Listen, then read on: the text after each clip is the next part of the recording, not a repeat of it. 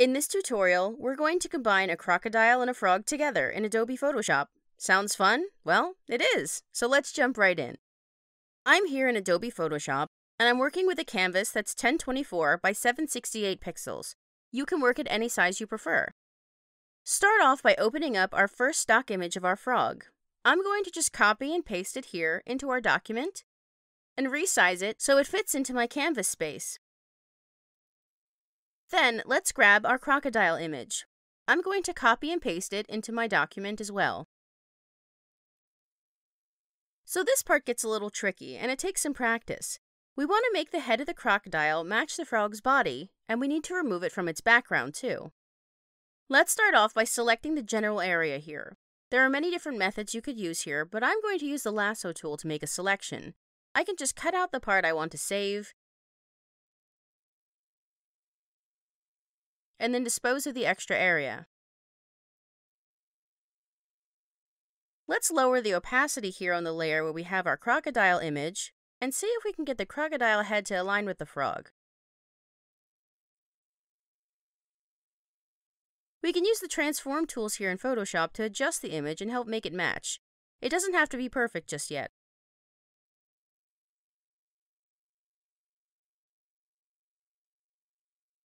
I'm using a drawing tablet here to make my adjustments.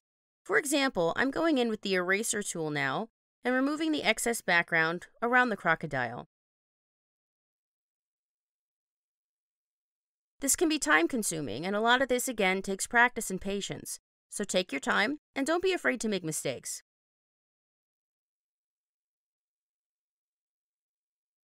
Once you've got your image cleaned up, and the two of them fit together in a way that you're happy with, we can push the photo manipulation here further.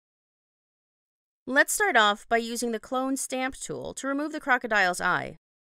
With the Clone Stamp tool selected, hold down the Alt key and select an area on the crocodile that you'd like to clone. Then we can draw on top of the eye to cover it up. Notice how it samples the area that we originally selected.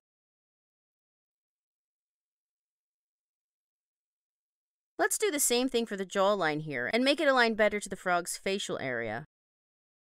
Just select a point to sample from, and then we can go ahead and draw in this extra content.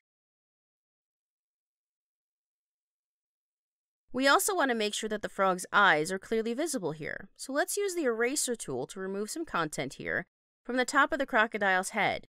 Let's just round it out around the frog's eyes so things fit a little more naturally Use a soft round brush so the transition here isn't harsh.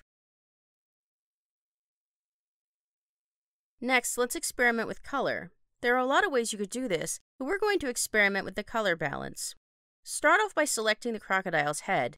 We can do this by holding down Command or Control, and then clicking on the layer's thumbnail. Then let's add an adjustment layer. It's down here in your Layers panel. Just select Color Balance. Now let's tweak these colors a little bit. I recommend leaving Preview here toggled on so you can see how your adjustments impact your work. Experiment with your values until you get a result that you're happy with. However, we don't necessarily want this color change inside the crocodile's mouth. So let's go in with the eraser tool again and erase this color from the teeth and mouth area. Again, I'm using a drawing tablet to do this, but you could use your mouse. A soft round brush is best for smoother transitions, whereas a hard round brush will give you harsher edges. You can also go in with your eraser and erase any excess color on the head that you might want to remove. You can lower the opacity of your eraser as well if you'd like to remove just some but not all of your content. For example, I can take a little off the nose area if I'd like to. Let's add some highlights with the Dodge tool just to lighten part of our image. I'm going to draw this again with my drawing tablet.